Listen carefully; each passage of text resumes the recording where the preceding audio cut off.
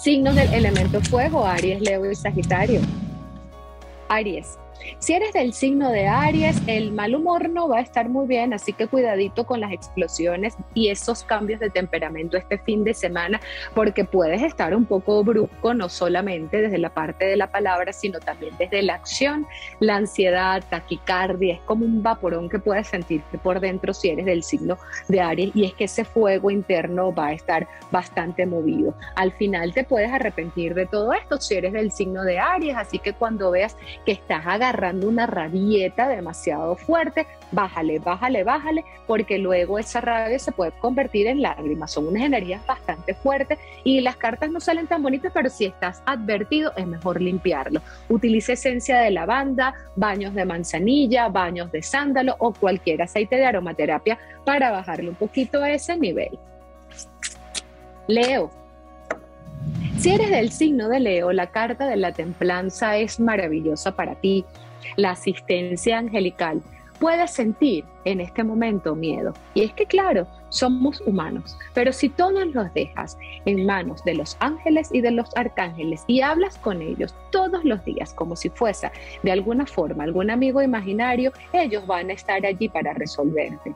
Hay algo de dinero que te preocupa, hay algo de dinero que está allí como esperando aprobación, puede ser un seguro médico, puede ser un crédito para pagar cosas de salud, se resuelve, gracias a Dios. Así que este fin de semana todos los días, enciéndele una velita a los ángeles y arcángeles y dale las gracias de antemano porque hecho está.